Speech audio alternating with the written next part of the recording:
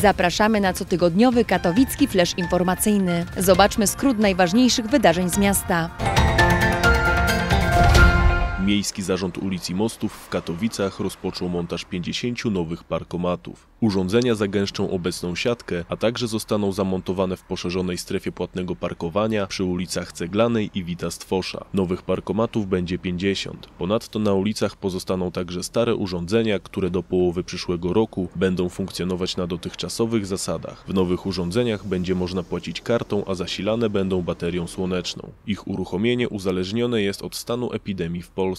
Na zakup 50 nowych urządzeń, system informatyczny oraz nowy system kontroli miasto przeznaczyło około 2 miliony złotych. Trwają również prace związane z wprowadzeniem opłat za parkowanie przez aplikacje mobilne.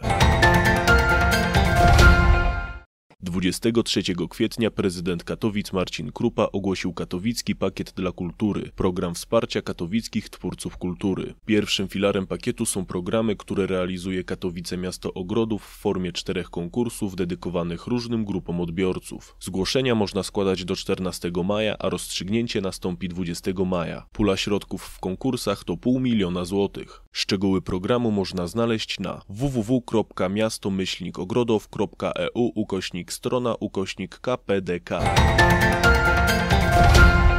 Decyzją prezydenta Marcina Krupy miejskie żłobki i przedszkola pozostaną zamknięte. 6 maja miały zostać otwarte placówki w całej Polsce, jednak rządowe rekomendacje nie są obowiązkowe, a ostateczna decyzja miała zostać podjęta przez samorządy. W Katowicach w ostatnim czasie zanotowano także wzrost zachorowań na koronawirusa. Dlatego władze Katowic zdecydowały, że jeżeli sytuacja pozwoli, to żłobki i przedszkola zostałyby otwarte 18 maja dla dzieci, których rodzice wyrażą taką chęć, a 24 maja, kiedy kończy się możliwość otrzymywania dodatkowych zasiłków opiekuńczych, miejskie placówki wrócą do normalnego funkcjonowania. Do tego czasu dyrektorzy poszczególnych placówek mają kontaktować się z rodzicami w celu określenia zapotrzebowania, jeżeli chodzi o powrót dzieci do żłobków i przedszkoli. Otwarcie miejskich placówek wiązać się będzie także ze spełnieniem wszelkich wymogów sanitarnych. Jednocześnie prezydent miasta skierował do wojewody śląskiego i sanepidu list z prośbą o rekomendacje w kontekście bezpieczeństwa w zakresie powrotu dzieci do żłobków i przedszkoli, która to rekomendacja będzie miała wpływ na decyzję w tej sprawie. Bíblia.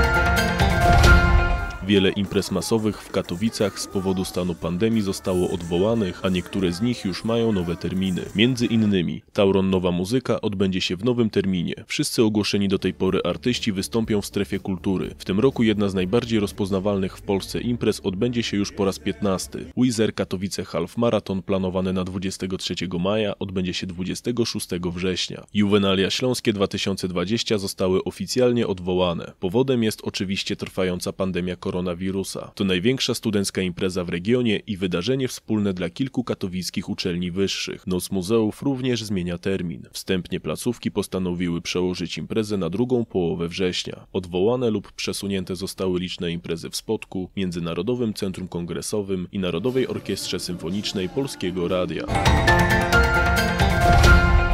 so let's let's do this. Let's think like winners. Silesia Rebels, najstarsza drużyna futbolu amerykańskiego na Śląsku i w regionie, której początki sięgają 2006 roku, aktualnie pracuje nad pełnometrażowym filmem na temat działalności swojego klubu oraz niesamowitego wicemistrzowskiego sezonu 2019. Film Rebelianci Powstanie opowiada o pasjonatach, którzy mimo swoich codziennych obowiązków pracy, studiów czy rodziny trenują futbol amerykański nieraz ciężej niż niejeden zawodowy sportowiec. Pomysł na film powstał w 2018 roku, kiedy Silesia Rebels zostało przejęte przez obecnego prezesa Jarosława Kopciucha, a przyszłość klubu była niepewna. Jednak dzięki wsparciu miasta Katowice oraz innych sponsorów udało się wyjść na prostą. W klubie pojawił się trener John Anderson z Teksasu i wielu innych zawodników z doświadczeniem. Drużyna Silesia Rebels w sezonie 2019 zaliczyła 9 wygranych pod rząd, finał i awans do najwyższej klasy rozgrywkowej. Drużyna liczy w tej chwili ponad 60 zawodników z 23 okolicznych miast i gmin Górnego Śląska.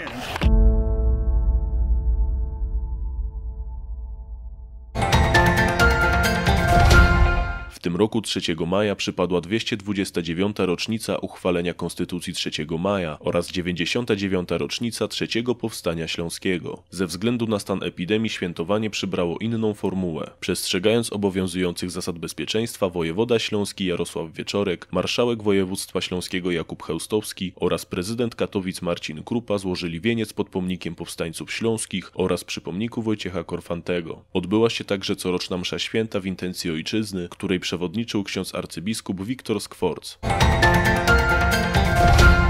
To już wszystkie informacje na dzisiaj. Pełne relacje dostępne są na katowicetv.eu oraz comtv.pl. Na kolejny flash zapraszamy za tydzień.